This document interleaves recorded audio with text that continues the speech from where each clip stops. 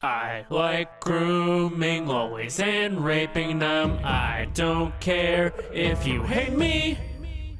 I am evil, I am Satan. I want Tao for my next banner row, so I will sacrifice for her by eating lolis. I want that bitch to twerk on my dick like wop wop wop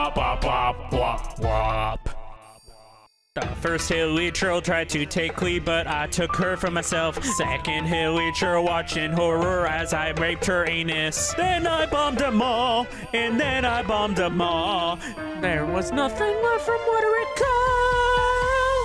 Waterico. Tao came around, cause Klee's ashes were on the ground now. She said, You monster, but It's Halloween after all. she gave me a wink, said, Be at the parlor, getting clones for me. I said, I don't work free. She said, You can sleep with me. And Qiqi.